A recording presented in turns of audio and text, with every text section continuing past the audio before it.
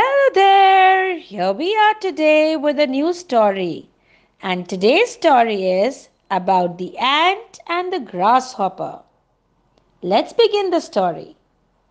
Once upon a time, the ant and the grasshopper were friends. During the summer, the ant worked hard to collect food and store it for the winter.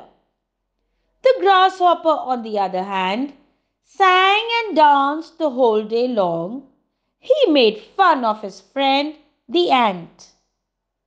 When winter came, the ant was lying cozily in his home. He was surrounded by food he had stored during the summer. On the other hand, the grasshopper was hungry and freezing at home. He had no food. He asked his friend the ant for some food. The ant did give him some food, but the food finished soon. Now the grasshopper had to stay hungry without food.